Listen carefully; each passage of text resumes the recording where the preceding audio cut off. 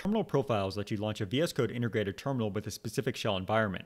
You can use them if you need to switch between multiple shells, such as working with Command Prompt and PowerShell on Windows, for example, and you can also use them to really customize your shell environment. Let's take a look at them in action. Now I'm going to be using Windows here to demonstrate, but all of these commands also work on macOS and Linux as well.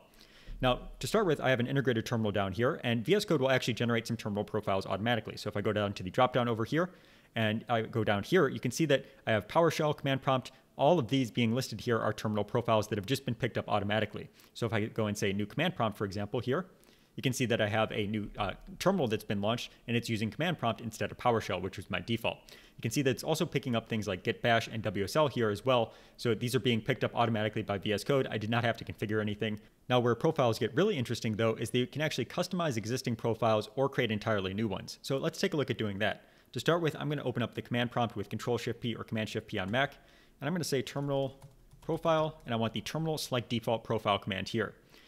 So actually, after running select default profile here, you can see it's listing out all of the profiles that have been detected before. This would let me change the default profile that's going to be used when I create an integrated terminal using the little plus icon down here or my keyboard shortcut.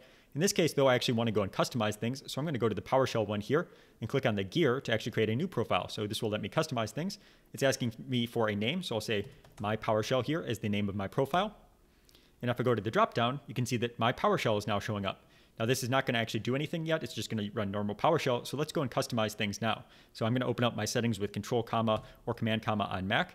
And I'm going to open up my settings JSON file here and go down to the bottom. And I want the terminal integrated profiles Windows setting. And based on the platform, this setting value will be different, but I'm on Windows in this case. And you can see that there's an entry for my PowerShell, which is the profile we just created, and it's going to run PowerShell by default.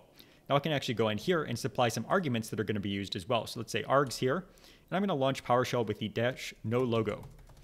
So this is going to get uh, rid of the little Microsoft copyright text at the top of PowerShell.